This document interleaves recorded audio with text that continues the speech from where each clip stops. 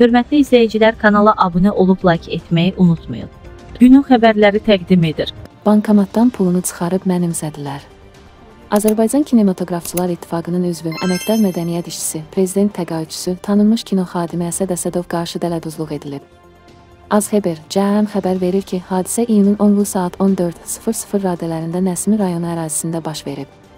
Bununla bağlı Xəzər xəbər ə 7 ildir xərçəng xəstəliyindən əziyyət çəkən Əsəd Əsədovun həyat yoldaşı İradə Əsədova məlumat verib.